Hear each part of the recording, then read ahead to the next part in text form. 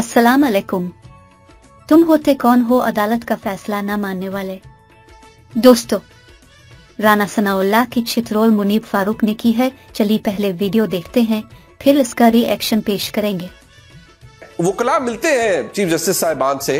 और कुछ मामला अगर हो बुनियादी इंसानी हकूक के तो अदालत से या चीफ जस्टिस साहब से चैम्बर सदा भी की जाती है कि हजूर इसे ज़रूर सुनिए। क्या आपको इससे कुछ ज़्यादा लग रहा है? मतलब allow me to use the word कि ये कोई अंडरस्टैंडिंग के तहत ये सारा मामला हो रहा है या बसद एहतराम ये कोई मिली भगत आप इसे करार दे रहे हैं? देखिए पहली बात तो ये है कि एक वकील के तौर पे मैं जानता हूँ कि जिन वकला के मैटर्स जो हैं वो जिस कोर्ट के सामने पेंडिंग हो वो वकला प्राइवेटली जो है वो उन जजेस से नहीं मिलते। नहीं मिलना चाहिए। और जजेस भी अलाउ नहीं करते। दूसरी बात ठीक। जहाँ तक इस बात का तल्लक है कि जब एक फ़ज़ा ऐसी हो इससे पहले ख्वाजा तारक रहीम साहब भी एक वकील हैं। उन्होंने एक सहाफ़ी से कयूम सदीकी साहब से गुफ्तगु की। उस गुफ्तु में बताया कि कल ये फैसला होगा। अगले दिन मनोवन वो फैसला हुआ। उसके बाद एक गुफ्तगु जो है वो तारक रहीम साहब की और बाबा रहमते उर्फ़ जहमते की जो है वो गुफ्तगु भी हुई जिसमें उन्होंने मरियम नवाज़ शरीफ साहबा के मतलब भी इंतहाई घटिया गुफ्तगु की और साथ उन्होंने केसेस के हवाले से भी जो है वो डिस्कशन की। ऐसी फजा में ऐसे माहौल में जो है ये मुलाकात जो है वो किसी तौर पे किसी को हजम नहीं हो सकती। और ये होनी भी नहीं चाहिए थी। और हमारी जो इंफॉर्मेशन है हम इसके ऊपर बिल्कुल कंफर्म है कि ये मुलाकातें दोनों इसी तरह से हुई हैं। पहले वो जमाम पार्क में मिले हैं और उसके बाद जो है वो मोहतरम चीफ जस्टिस ऑफ़ पाकिस्तान से मिले हैं और फिर वो बात कल हुई है वहाँ पे। जो वकला कोर्ट अच्छा। में मौजूद थे वहाँ पे ये दोनों जो सीनियर वकला हैं इनके मुँह से ये बात निकल गई कि जी हमने तो आपको पहले ही कहा था कि फुल बेंच बना दी। भाई कहाँ कहा था? कब कहा था? उसी मुलाकात में कहा था ना? उस मुलाकात में ये पिटीशन डिस्कस हुई है ना? और उस पिटीशन की डिस्कशन के दौरान ये भी डिस्कस हुआ है कि बेंच जो है वो कौन सा बनाया जाए। और वहीं पे ये भी डिस्कस हुआ है कि काजी फैजी साहब को इसलिए इसका हिस्सा बनाया जाए कि ये एतराज़ भी नहीं रहेगा। और दूसरा काजी फैज ईसा साहब ने तो मिलिट्री कोर्ट्स के खिलाफ ही फैसला देना है। उनका तो और रिकॉर्ड पे उनके फैसले मौजूद हैं। तो ये बिल्कुल एक कंसिडर्ड ओपिनियन है उनका उनका फैसला तो है। बड़ी चलाकी और बड़ी होशियारी से जो है ये सारे मामला को जो है वो मैनेज किया जा रहा है। तो इस मैनेजमेंट के ऊपर अच्छा। जो है वो फिर एतराज़ात और तशवीश जो है वो उसका पैदा होना जो है वो एक फितरी और कुदरती अमर है। अच्छा ए, ए, एक, एक, बात और बरान साहब। आपने आज उसका इशारा दिया आपने कहा कि ये समात हो रही है कहीं ये ना हो क्योंकि इखलाकी वैल्यू भी आपने कहा। दुरुस्त कहा इखलाकी वैल्यू भी होती है। लीगल इंपॉर्टेंस और लीगल बाइंडिंग होना लीगली बाइंडिंग होना फैसले का वो तो एक प्रिंसिपल है लेकिन इखलाकी वैल्यू भी होती है अदालती फैसलों की।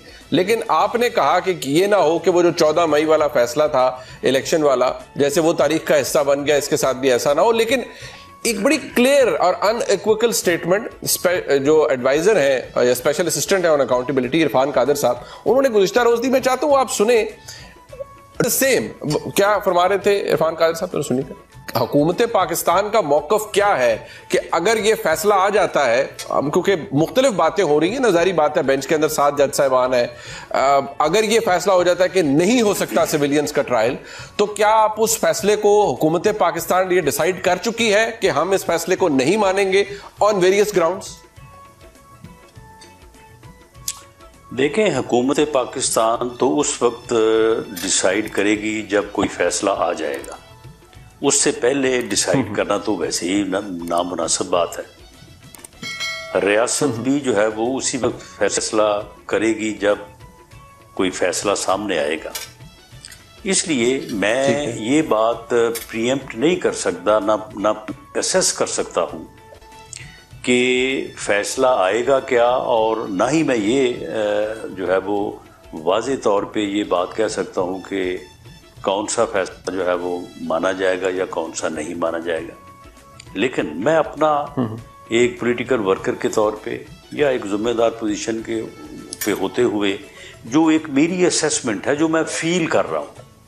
मैं ये फील कर रहा हूँ कि 9 मई के जो वाकयात हैं इन्होंने जिस बुरी तरह से झंझोड़ा है और जिस तरह से लोगों के जज्बात हैं, ख़ास तौर पे उन उन मतलब जिसमें शोदा की बेहरमती की है, जिस तरह से उनकी फैमिली की, जिस तरह से उसके ऊपर, उस अदारे के लोगों के जो है वो एहसास हैं। मुझे ये बात महसूस होती है। उस कि रियासत जो है रियासत जो है इस जथे के खिलाफ जो कानून के मुताबिक एक्शन है और जो action under the army act 1952 है उसके ऊपर पूरी जो है वो यानी कमिटमेंट के साथ और पूरी क्लैरिटी के साथ जो है वो खड़ी है।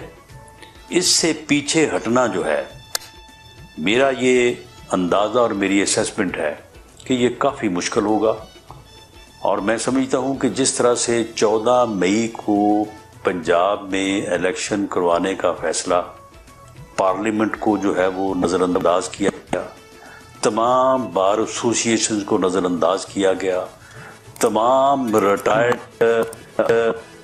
जो जुडिशरी के लोग थे, जो सीनियर वकला थे, वो जाके हाथ जोड़ के सामने खड़े हुए कि जनाब आप इज्तमाही दानश को जो है वो मौका दें और आप इस तरह से ना करें।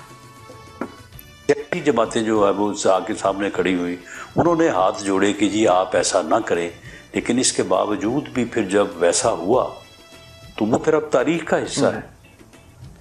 तो मैं समझता हूँ कि अच्छा, एक इज्तमाही विल होती है लोगों की एक इज्तमाही जो है वो एक कौम की एक आवाज़ और एक कौम की एक जो है वो एक, यानी सोच होती है, उसके अगेंस्ट कोई भी जाए, वो वो पार्लियामेंट हो, वो जुडिशरी हो, वो कोई और अदारा हो, उसके अगेंस्ट कोई भी जाए, कामयाबी नहीं हो सकती। जी तो दोस्तों, अपने इन दोनों साहिबान की गुफ्तगु सुनी राणा साहब चीफ जस्टिस उमर अता बिंदियाल के बनाए हुए बेंच पर बात कर रहे थे, जिसको दो जज साहिबान ने छोड़ दिया। जस्टिस काजी फाइज ईसा ने बेंच का हिस्सा बनने के लिए कुछ शराय रख दे। अब इस केस को सात रुकनी बेंच सुनेगा और कुछ कहा नहीं जा सकता कि फरीकैन इस फैसले को मानेंगे। दोस्तों, आपका इस बारे में क्या ख्याल है? अपनी राय से ज़रूर आगाह करें।